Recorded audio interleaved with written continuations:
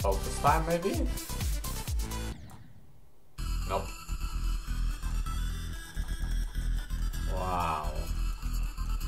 I'm really struggling with the ships and clubs though.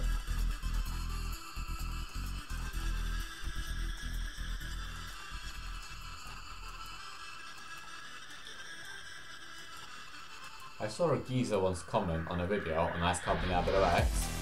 And the comment was said, If Ice Company AWX didn't have ships, then it would be a medium demon. Now I've never actually done a whole practice run of the level just because of how hard the freaking ships are. So I can't clarify if that's it all. I've actually managed to beat the level from 81 to 100 and boy, the last ship's fun. The one with like looks like you have inverts from fan games. And you also change gravity in the middle of it.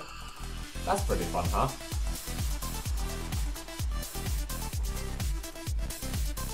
Maybe I should just commentate. I seem to play better when I commentate. La la la la la la la.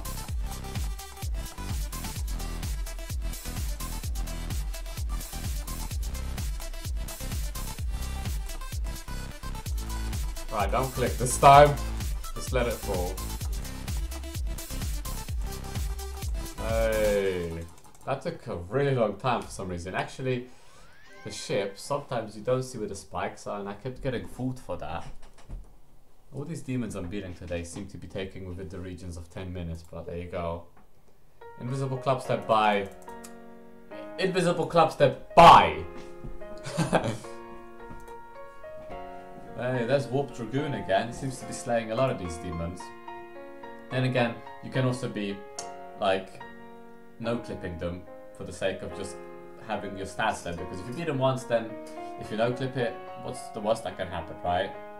But I'm just repeating them for the videos so how long did this one take? 30 attempts. It's literally Clubstep so it's just a little bit harder because it's invisible besides that nothing much different. Anyway thanks for watching guys. See you in the next video